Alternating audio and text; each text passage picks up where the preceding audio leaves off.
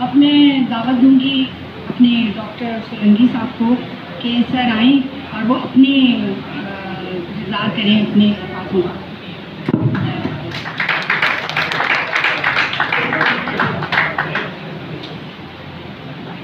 السلام علیکم۔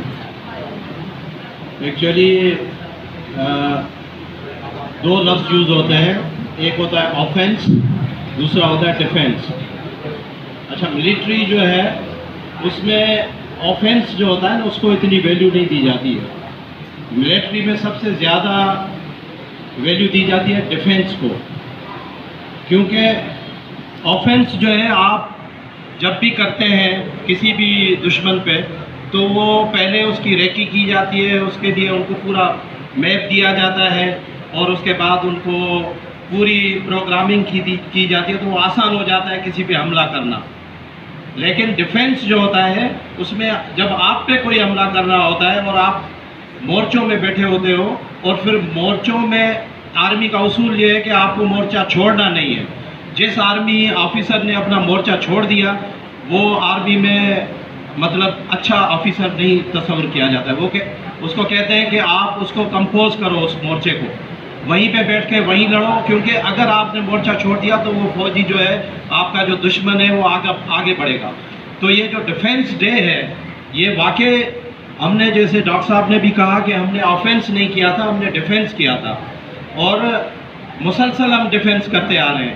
ابھی بھی ابھی نندن کا آپ نے جو واقعہ دیکھا تھا، جو ایئر فورس انہوں نے حملہ کیا تھا، اور ان کو ہمارے ایئر فورس نے کیموفلیج کر کے اور ان کے اندر گھس بھی گئے تھے پہلے، پھر وہ واپس آئے اور پھر ان کو ٹارگیٹ کیا اور دو جہاز بھی گرائے جس میں ایک پائلٹ ان کا مارا گیا اور ایک پائلٹ جو ابھی نندن تھا اس کو سمپیتھی کے طور پہ ان کو دینا بھی پڑ گیا۔ تو مسئلہ یہ ہے کہ یہ جو ڈیفینس ڈے ہوتا ہے اور ڈیفینس ہر جگہ پہ صرف ملٹری میں نہیں ڈیفینس ہر جگہ پہ، ہر جگہ پہ ڈیفینس جو ہوتی ہے، آپ اپنے مور جیسے علامہ اقبال نے کہا پیوستہ رہے، شجر سے امید بار رکھ۔ مطلب پیوستہ مطلب جہاں پہ آپ ہو، وہاں پہ رہو اور وہیں پہ امید بار رکھو۔ تو ہمارے صرف میں ایک ایک بات اور بھی کہوں گا کہ ہماری عوام جو ہے، شروع سے لے کر ہم ہماری جتنی بھی جنگیں ہوئی ہیں، کسی سے بھی ہوئی ہیں، طالبان سے ہوئی ہیں یا کسی اور ملکی ملٹری سے ہوئی ہیں، انڈیا سے ہوئی ہیں، جتنے بھی ہمارے خلاف حملے ہوئے ہیں یہاں جتنے بھی ہمیں آفینس کیے گئے ہیں، اس کا ہم نے صرف ہماری ملٹری نے نہیں، لیکن ہمارے عوام نے بھی مل کے جو ہے مقابلہ کیا ہے۔ جیسے انیس سو پینسٹھ کی جنگ میں ہمارے پٹھانوں کے علاقے میں ہمارے جو پٹھان بھائی تھے، انہوں نے کافی کشمیر کے معاملے میں، جب کشمیر کا پہلی جنگ ہوئی تھی، اس میں بھی پٹھان گھس گئے تھے وہاں پہ کشمیر میں، اور انہوں نے کافی ان کو مجبور کیا۔ جب ان کے ان کے جو ڈیفینس کرنے کی وجہ سے ان کو پلے پلے بی سائڈ کی ٹیبل پہ آنا پڑا کہ بھی پلے بی سائڈ کرنا پڑے گا۔ اگر آپ وہ ڈیفینس نہیں کرتے اور چھوڑ دیتے تو وہ آپ کی کوئی بھی بات نہیں مانتے۔ اسی طرح میں وہی آپ کو بات بتاؤں انیس سو پینسٹھ کی جنگ جنگ میں تھر پارکر میں جو ہے، ہمارے ہوروں نے جو پیر صاحب باقارے کے مرید ہیں، وہ لاکھوں میں وہ بھی پیراملٹری کی فورس کی طرح ان کو انٹرٹین کیا جاتا ہے، انہوں نے بھی جنگ کی۔ اس طرح وہ ہمارے وہاں قبائلی علاقے کے لوگوں نے، انہوں نے بھی کی۔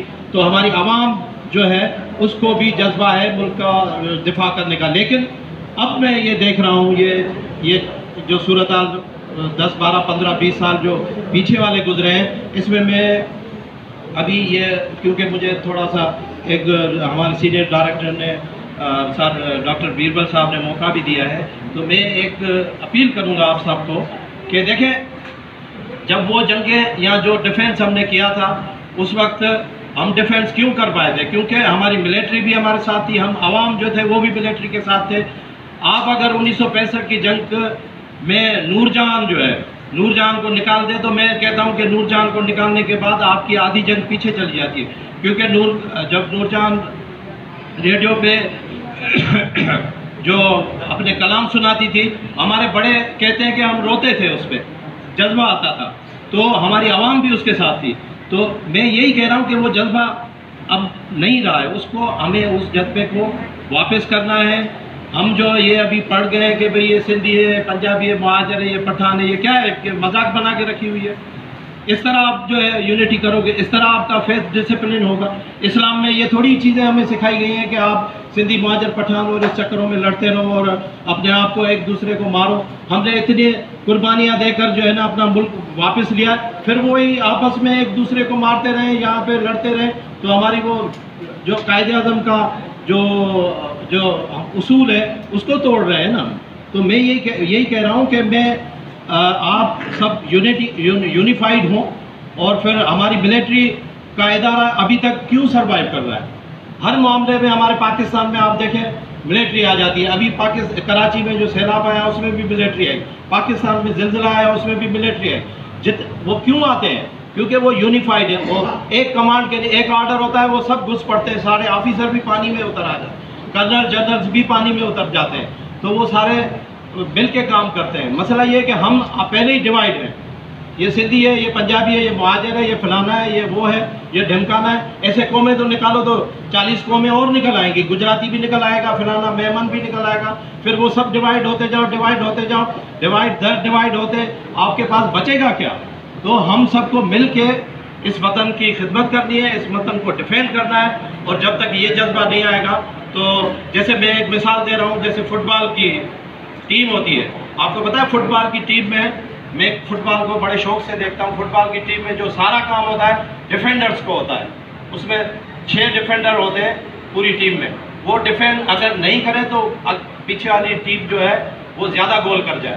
تو کم گول اس لیے ہوتے ہیں کہ ڈیفینڈر اچھے ہوتے ہیں۔ جس ٹیم کے ڈیفینڈر اچھے ہوتے ہیں، وہ ٹیم اچھی ہوتی ہے۔ تو اسی طرح میں سب کو یہ کہوں گا کہ آپ اچھے ڈیفینڈر بنیں فٹ بال کی ٹیم کی طرح، اپنے ملک کو بھی ڈیفینڈ کریں۔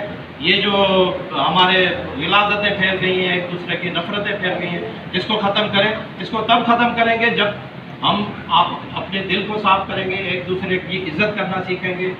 تو میں یہ آخر میں یہی لفظ آپ کو کہوں گا کہ آنے والے وقت میں میں امید کرتا ہوں کہ ہم سب مل کے، جیسے دیکھیں ہمارے باقی جو ادارے ہیں ملٹری کے علاوہ، باقی جتنے بھی ادارے ہیں اس میں ڈسپلن اور یہ سب چیزیں ختم کیوں ہوئی ہیں؟